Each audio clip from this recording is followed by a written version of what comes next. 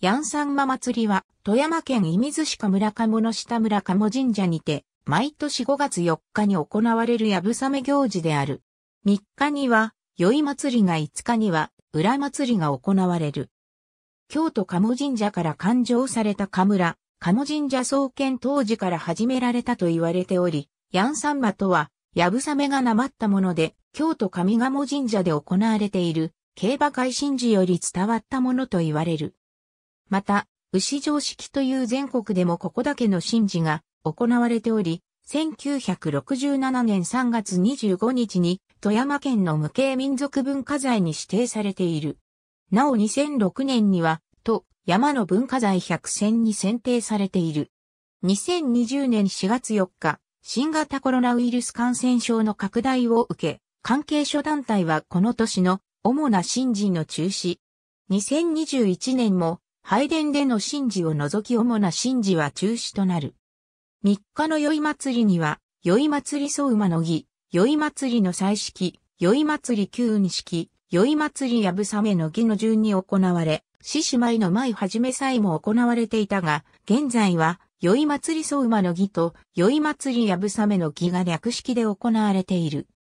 4日の本祭は、朝8時より悪魔払いの獅子舞の舞から始まり、新目、総馬の儀、音開きの儀、新公式、新目式、ご旅所の儀、牛上式と続く。その後も、官魚、霊祭式、旧式と続き最後に、やぶさめ式が行われる。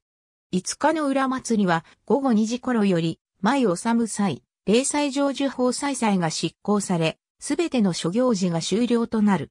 蔵を乗せた一頭のお牛に、兜に甲冑をまとって、赤面の大花の面をかぶり、大花となった若者が乗る儀式である。神のよりしろは、兜の中点に刺した和紙でできたボタンの花である。手には一条三尺の弓を持ち、背中には矢を背負って境内に入ると、天下太平、五国成就を祈願して、拝殿の屋根に向け、一種を放つ。その後進行五順路へ入ると、境内のお旅所付近を参集し、ついで多くの若種が牛に駆け寄って押さえつける。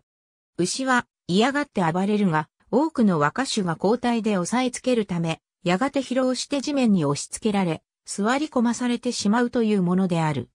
この神事は、他の神が乗った牛を座らせて止め置き、この地の五穀豊穣をいつまでも願うとともに、雨乞い行事も合わせて行われているとも伝えられている。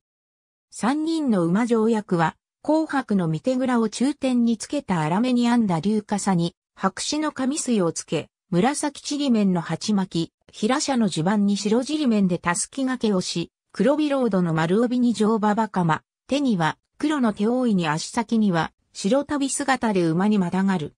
三人の馬条約は、拝殿西側から次々と杉並木の参道を駆け抜け、参道内の杉の木に設けられた高さ約5メートルにある大敵に向け、それぞれ3回ずつ矢を射る。牛上式及び、やぶさめ式で放たれた矢は観客たちが奪い合うように、拾い、五穀豊穣や、家内繁栄などを祈って、除魔小服の霊符として家に持ち帰り、神棚に備える。獅子舞は、小さな獅子頭を、門符、袴姿の氏子代表が、頭上に掲げ、おごそかに歩いて進むものである。なお2005年には、と、山の文化財百選に選定されている。下村鴨神社に隣接して1986年に、祭礼で行われるやぶさめ用の馬の飼育と練習場として整備された。また放牧場が公園から約200メートル離れた場所にある。ありがとうございます。